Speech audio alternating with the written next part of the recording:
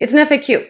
It's an FAQ. It's an FAQ. We're doing an FAQ today, guys. I'm super excited. Very pumped. This one's highly requested. I'm going to tell you what the FAQ is in just a minute. But before I do, hello, I'm Mrs. Soap and Clay. Let's make stuff.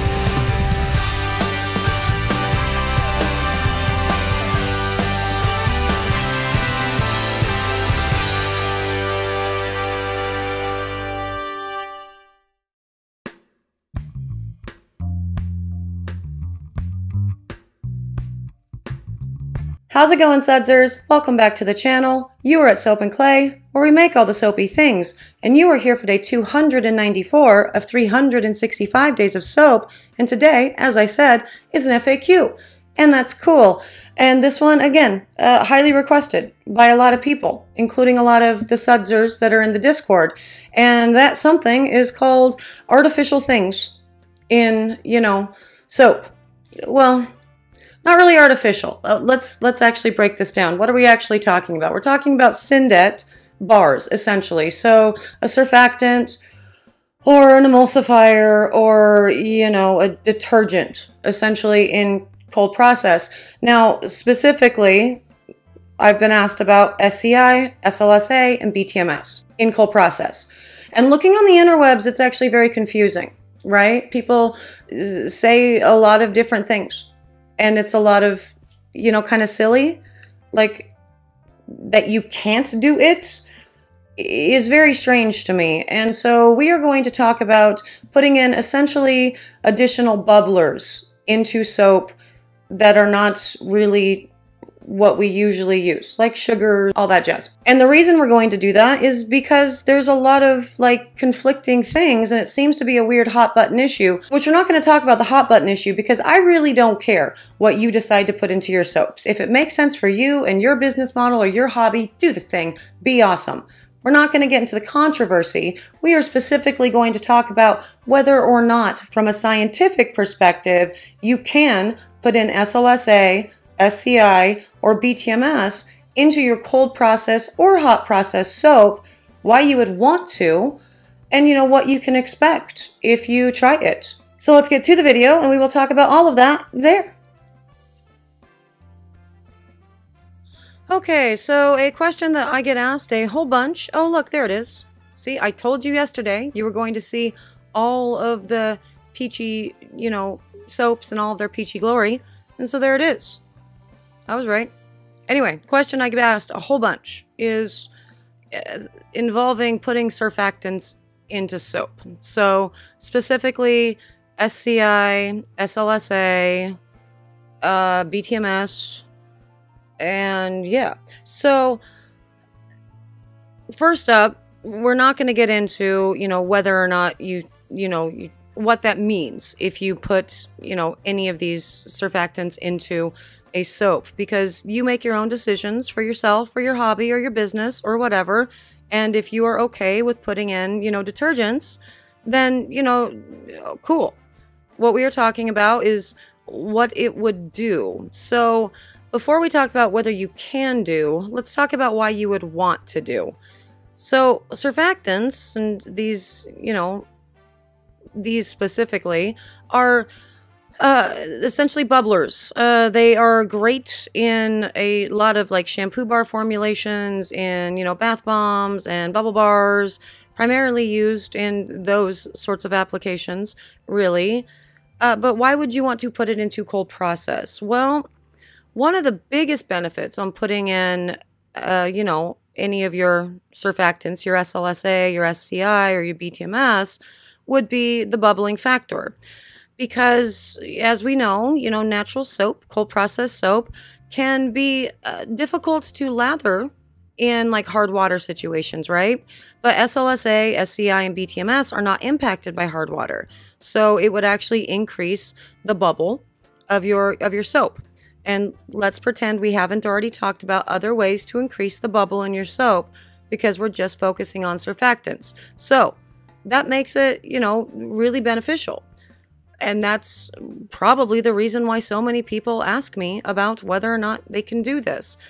And honestly, the information on the internet is spotty with this. So I get that it's coming, you know, to me or probably lots of other soap makers as well. So, first up, can you do it? Uh, yeah, I mean, you can add it to soap. I think we've uh we've shown time and time again on this channel, you know, anything essentially can be added to soap. What is it going to do to the soap? Well, I guess that's where you actually have to really think about this. So, soap is an anionic compound. And SLSA and SCI, both gentle, you know, detergents that help with the bubbling, they are also anionic. And so theoretically, you would have none problems whatsoever including that into the solution and the solution falling out of solution, essentially. So those would theoretically work just on their head. How about BTMS? BTMS is cationic. And so the general rule in chemistry, right, when you're formulating solutions and whatnot, is if you mix, you know, a cationic compound with an anionic compound, it's going to fall out of solution. It's not going to work. That said, I am certain that there are people that have used BTMS in their products. Um, just first blush, looking at just the chemical formulation of BTMS and what we know about soap, I probably personally wouldn't mess with that just because you are increasing the possibility that your soap is not going to, you know, go through saponification. Again, that said, if you're using it in small enough percentages, not so small that it won't make a difference, but not so big that it's really impacting the solution itself. Yeah, I mean, I think it could work. I don't know that I ever would. I I also never have, as you can probably tell within with all of this. As far as SLSA and SCI, um, I've really actually also never put either one of those in soap. But theoretically, you could. So, yeah, no, you can uh, put it in soap. I guess the question now becomes how much and what is the process? Because SCI comes in noodle and or powder form, right? BTMS is solid, SLSA is powder, and they like to bubble. So what would we do in order to get it into the actual soap, knowing that at least SLSA and SCI can be included in cold process or hot process to that, how would we actually put it in? Okay. Okay, so assuming they can be added to soap, uh, how would you do it and at what percentage? Uh, well, our standard rule of thumb whenever we are including extra, you know, special bubbler things, like, you know, your, well, you're like your oh my goodness, what is that called? The EDTA, yeah, or you know, sodium citrate or sugar. Really, the the general consensus is one to three percent of the total oil weight. So there you go, between one and three percent um, would be the jumping off part. I know for a fact that you can put all of these in melt and pour because I have done melt and pour tests with them and I've done it all at 3% to increase the bubble of melt and pour. And it super does. It's super effective. So I would say with cold process, that would be what I would do for SLSA, SCI, and BTMS 3%. or between one and three if you're feeling, you know, rather conservative. Now, how do you include it? Well, I see both the SLSA, well, all three of them really, uh, getting kind of a bubbly, you know, soap batter if you add it like into your oils, like dissolve it into your oils and then put your lye solution in there. And just the just the nature of the actual stick blender and how that's a very big, you know, vroom vroom. And so it's mixing the soap up really well to hit that emulsion. I would say you're probably going to run into a bubbly soap batter. Is a bubbly soap batter a problem? No, of course it's not. The bubbles can go away.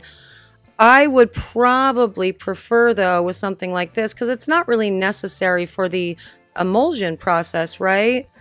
You don't really need it for the emulsion. I would probably reserve a portion of my water, dissolve both in all any of these in water, because they don't get super bubbly when you're just mixing them up with like a skewer or whatever and water hits them and then add it like I add you know my clays.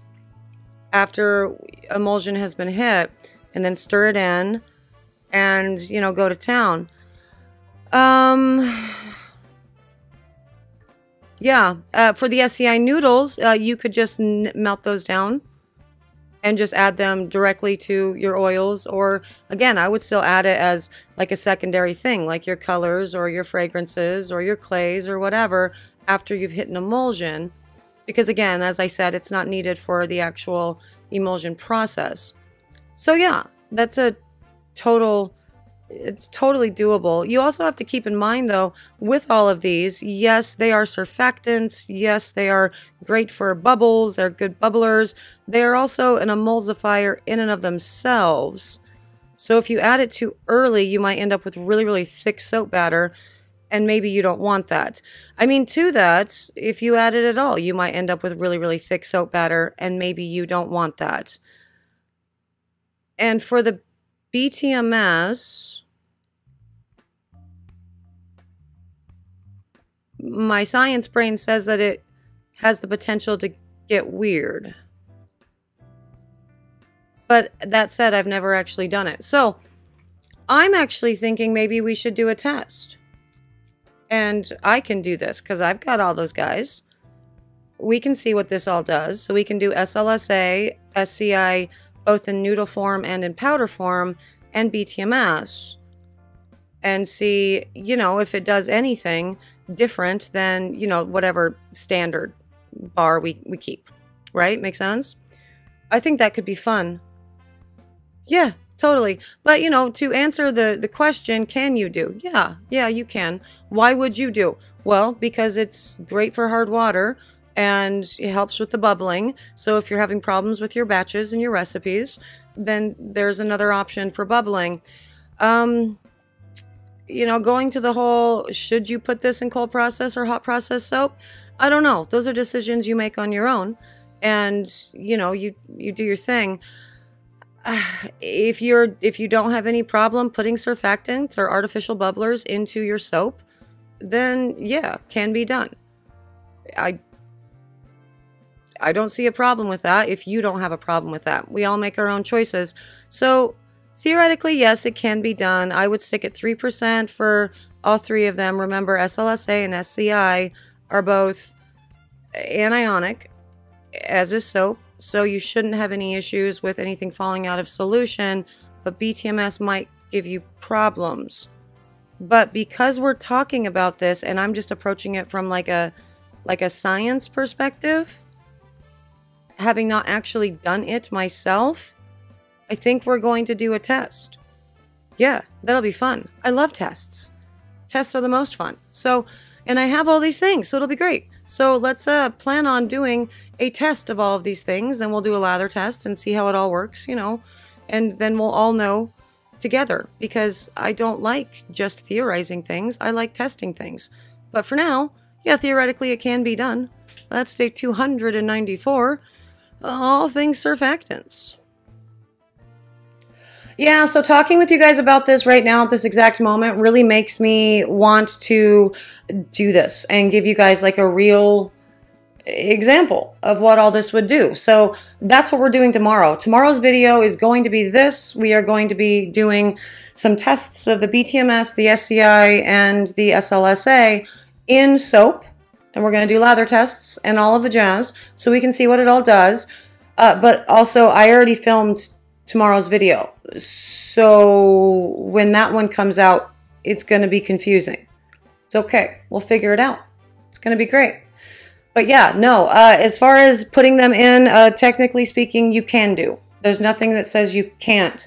And um, again, not really getting into the controversy on whether or not you should, because soap is supposed to be handcrafted, or if it's not, you know, natural, whatever that means, then it's a syndet and it's a detergent and it's no better than ivory. First and foremost, that is a ridiculous argument. And you know what? I said I'm not getting into it. Maybe we'll talk about it again tomorrow.